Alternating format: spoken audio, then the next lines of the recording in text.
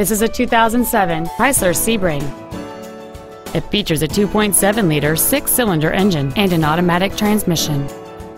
With an EPA estimated rating of 31 miles per gallon on the highway, this vehicle pays off in the long run.